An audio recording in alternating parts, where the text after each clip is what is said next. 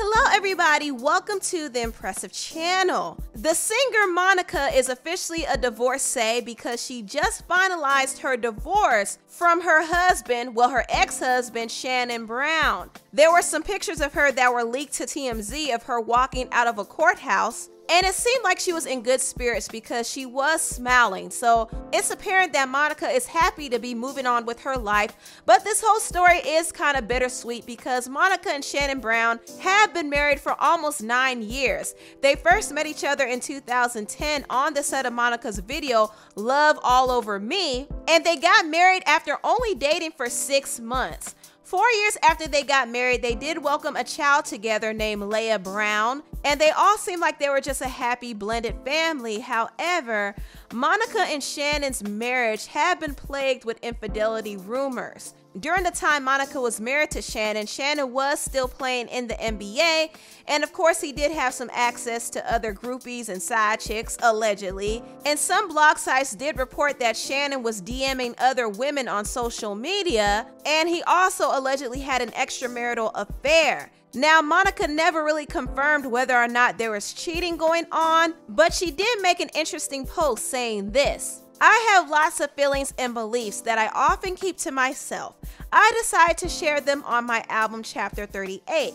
Here's one. I hate to hear women and men say that whomever their spouse cheated with is the reason you're all apart. In truth, it was the choice of your spouse that cheated that's at fault. It's your man or woman's job to respect and honor you. Am I right or not? Laugh out loud. Hashtag that's how I feel. So Monica didn't directly say that there was some infidelity in her marriage, but from this post, one can assume that she might have been hinting at it and she was making it clear that the blame should always be placed on the spouse who cheats, not necessarily the side piece or the mistress. But once again, we don't really know if cheating is the reason why Monica and Shannon broke up. Monica could have filed for divorce for other reasons as well. And in some of her interviews, she did talk about what led her to leave Shannon in the first place. We were married, what, almost nine years? Mm-hmm. And I think life changes really got the best of both of us at times. You know, I take accountability for what my part is. I'm a very um, outspoken woman, you know, and I'm learning how to be more of a listener. Mm-hmm you know, than just speaking what I feel because he also went through a lot of different life changes. You know, he survived a major car accident, mm-hmm. but that also changed the course of, you know, what's happening career wise. So he playing in Big Three, doing other stuff. And I think that it took a toll because I probably didn't have enough around us mm-hmm. to help us just facilitate what needed to happen. But, you know, it is what it is. Divorce is not being easy. I don't hate him. See, I just grew That's apart. That's different. Yeah, I don't I don't hate him. Right. I think there's a difference when you walk away from something and you real mad. You yeah, know what I'm saying? I was. I, I mean, I know it wasn't no infidelity because black men don't cheat. So I figured that's that a damn lie. I, I don't even know why y'all keep this going. That's just foolish. What? Not the Shannon part. The black men don't cheat part. It's just foolish. What you doing, man? Now, now, with him leaving the league, did that affect when he got injured? Because if you do something since you were five years old, play basketball, yeah, yeah, and now all of a sudden you can't, that had to have an effect on the relationship too. Oh, absolutely. Yeah. Any. I mean, you you got to factor all of that in. You know what I'm saying? And then when you got children, we're not just working for ourselves. Right you know, he and I both are working to make sure that they have everything that they need. Mm-hmm. And you establish a lifestyle for them. You don't want that to ever have to change. So, of course. How do you know when it's over, though? Because I'm thinking about it from the perspective I'm, of a married man. Like, how yeah. do you know when it's over? Like, you know what? Like, we can't even just go in the other room and then talk about this later. Like, it's done, done. I don't think you ever get to a point where you understand um, that that is the case. I think actions start to show. Mm-hmm that it, that that it, that it's come to an end more than anything to me. Mm-hmm. because it's never a time I don't ever remember feeling like oh this is the end. But I do remember feeling like why can't we get along? Why mm-hmm. can't we figure this one situation in particular out? Why is that repetitively happening?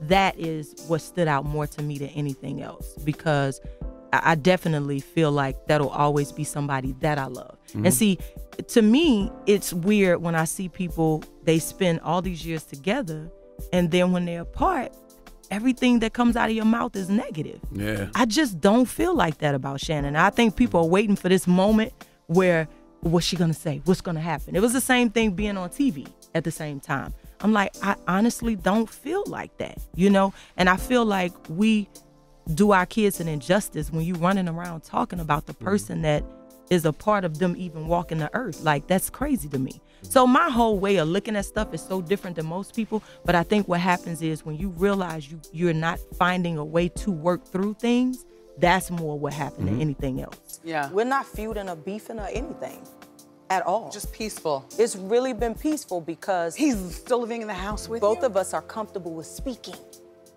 You I- understand? no, I know exactly You know, sometimes it gets too quiet, mm-hmm. and it, it had gotten too quiet. You know, you get to nine years, that we we made it through some of the trenches. You know, so Yeah.